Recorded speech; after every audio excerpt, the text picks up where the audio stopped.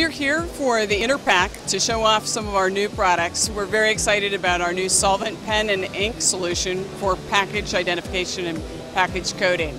Um, it's very exciting because we're able to reach more substrates and especially coated foil substrates, which we have not been able to reach before with our aqueous solution.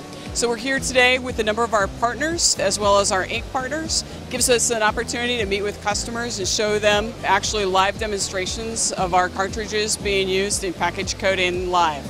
SPS has been very successful in secondary package marking and coding applications. And today we're introducing the new solvent technology on HP TIJ, which allows our, us and our partner to go into primary packaging applications.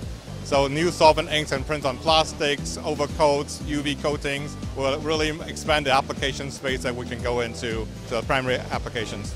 We have a new cartridge that allows solvent to be used more effectively and our partners, our ink partners, are developing new inks that could go on many different substrates that will go uh, to complement the HP inks that we will have. And then our printer partners can bring those cartridges into new applications like pharmaceutical, food, flexible film, and other primary packaging applications. The new 2580 uh, ink from HP is uh, an outstanding ink.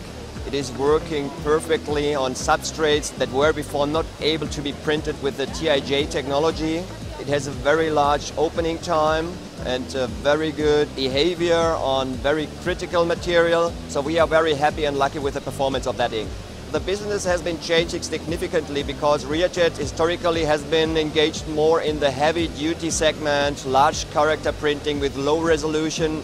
So the, the, the high resolution segment that has been, has been able to be achieved with the, with the cooperation with HP has now of course also driving us in industries which were not part of our business before, like pharmaceutical, like packaging, uh, and I would say that these industries will become more and more important for the overall success and performance of REA JET in the future.